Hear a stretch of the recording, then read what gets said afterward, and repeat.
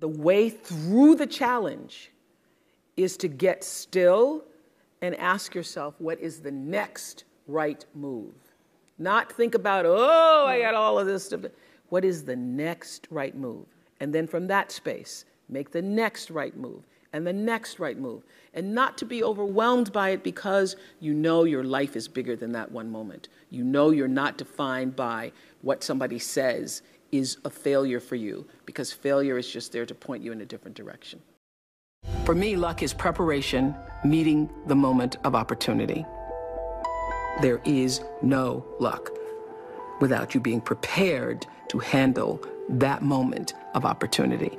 And so what I would say for myself is, is that because of my hand in a hand and a force greater than my own, I have been prepared in ways that I didn't even know I was being prepared for. And the truth is, for me and for every person, every single thing that has ever happened in your life is preparing you for the moment that is to come.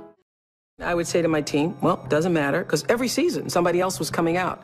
One talk show, two, show, two talk shows, three talk shows. There have been over 100 talk shows since we started.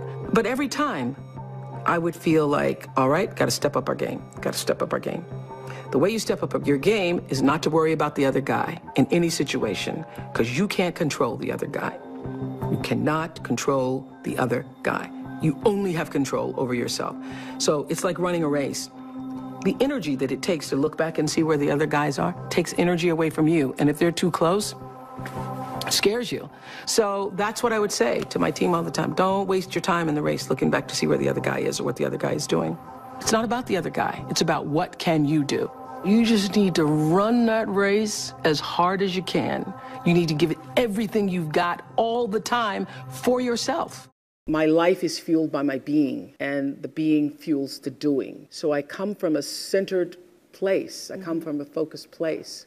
I come from compassion, um, it's, just, it's just my nature. I come from a willingness to understand and to be understood. Right. And I come from wanting to, to, to connect. I mean, the secret of that show for 25 years is that people could see themselves in me. All over the world, they could see themselves in me. And even as I became uh, more and more uh, financially successful, which was a big surprise to me, I was like, oh my God, this is so exciting.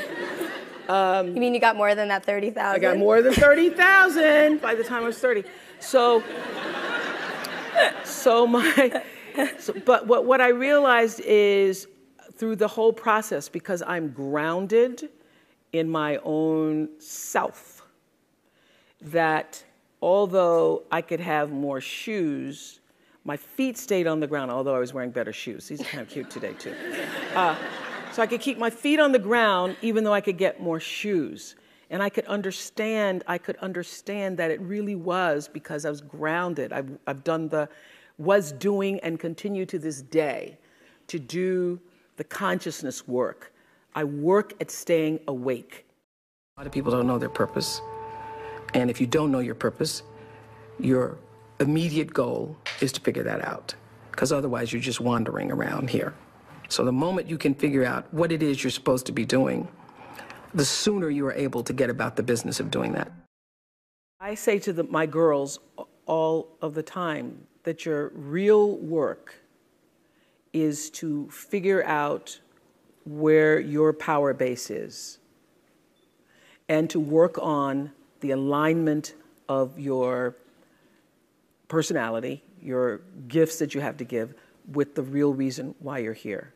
That's, that's the number one thing you have to do, is to work on yourself and to fill yourself up and keep your cup full. Keep yourself full. Now, I used to be afraid of that. I used to be afraid, particularly from people who say, oh, she's, she's so full of herself. Mm, she's so full of herself. And now I embrace it. I, I consider it a compliment that I am full of myself. Because yeah. you only when you're full, I'm full, I'm overflowing, my cup runneth over.